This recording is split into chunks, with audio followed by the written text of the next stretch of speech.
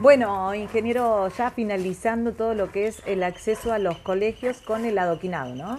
Eh, sí, bueno, en realidad eh, llegamos con el adoquinado al Jardín Policardo, pero eh, el tema, nosotros teníamos una deuda pendiente con el Colegio Rivadavia, porque si bien habíamos llegado con el adoquinado en la calle Congreso, se nos generaba un acceso al colegio complicado a través del camino de tierra que había, ya sea por la, calle, la continuación de la calle Congreso o por el pasaje Spanner que no estaba completamente abierto. Con lo cual, con esta obra, viniendo desde Roma, por la calle Sucre y adoquinando el pasaje Spanner, se genera un circuito con el cual se puede ingresar perfectamente al colegio y estamos incluso evaluando de hacer eh, algún cambio o hacer algún sentido único en alguna de las calles para generar un circuito para que sea más accesible al colegio y sin ningún tipo de dificultad eh, para los niños.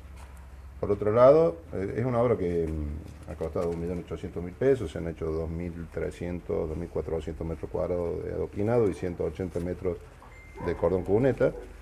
Pero, eh, por otro lado, la calle Sucre, si bien ha llegado hasta acá, hasta el Jardín Infante, con el plan de conectividad de dos tenemos pensado continuarla hasta llegar a, la costanera del río. Eh, con lo cual las obras no se acaban. Si bien este, esta es, forma parte de un plan especial en el cual los vecinos pagan nada más que el 30%, pero bueno, esta gestión va a seguir, va a continuar con las obras que veníamos haciendo. Bueno, esperado, ¿no? Eso. Sí, la verdad que sí, estamos muy agradecidos con la municipalidad.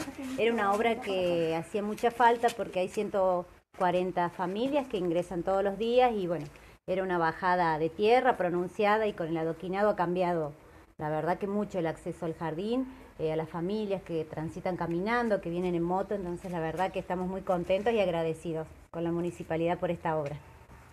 Es fundamental esta red de acceso, ¿no? ¿Entendés? Es así, esto fue un desafío importante, el tema de que tengamos accesibilidad directa, de calidad a cada uno de los establecimientos de, educativos de Villa Carlos Paz era fundamental.